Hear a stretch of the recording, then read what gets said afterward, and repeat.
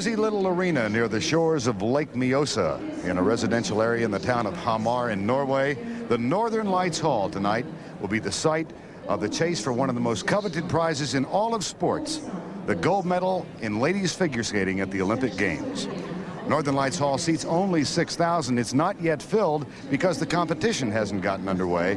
It was almost filled this morning when the six ladies who comprised the final group took to the ice for their last practice session. Most of the attention focused on world champion Oksana Baiul, injured yesterday in a collision with Tanja Szewczenko and bothered by a cut on her right leg and a sore shoulder and back. Well, anytime you're injured, it seems it's always more sore the next day.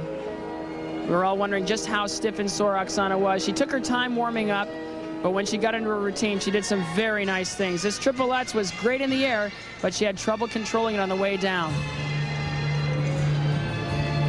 But towards the end of her routine, she did a very beautiful triple Salchow double loop combination, seeming to get past her injury, but not overall a great routine practice today. When she tried to practice her bow, we got a sense of the pain she might have been in. Well, she was obviously in a lot of pain when she was doing the bow. Her back is very stiff. She got off right after she tried her free program run through, and she was not happy. Oksana in tears as she left uh, the Northern Lights Hall, but still gracious enough to sign an autograph for a fan. Her coach, Galina Zmievskaya, was also in tears as the two were taken back to the athletes' village. And Scott, obviously the focal point right now is on Oksana and her emotional and physical state. Well, the last thing you want, the last practice before you do your free program in the Olympic Games is to leave the ice in tears. But my image of Oksana Baiul is that she's a very gutsy, determined, courageous young woman. And if she's physically capable, she'll probably pull off the performance of her life tonight. Nancy Kerrigan of the United States is in the lead. How'd she look? Well, she probably had the worst practice of her Olympic experience. And the only reason I'm kind of chuckling about it is it was about time. She didn't get the air she needed on some of these jumps, like this triple Lutz. Very disappointing run through today, but she was due for one. She's been so perfect since she arrived, and towards the end of the practice, she was skating flawlessly as well as any other practice since she's gotten here. Characterize the practice sessions for the top uh, top ladies. Kerrigan, she's skating very well. Baiul, we'll have to wait and see. We don't know how much that injury is going to bother her performance. For Chen Lu, completely under control, had a great practice today. And for Surya Bonaly, some great things, some awful things. It'll be interesting to see what she pulls together tonight in her quest for a bronze medal or a silver or a gold. Here's the way they stand going into the free skate. Kerrigan, Baiul, and Bonaly, the first three. If one of those three wins the free skate, they win the gold medal. Chen Lu, Szewczenko, and Witt will follow.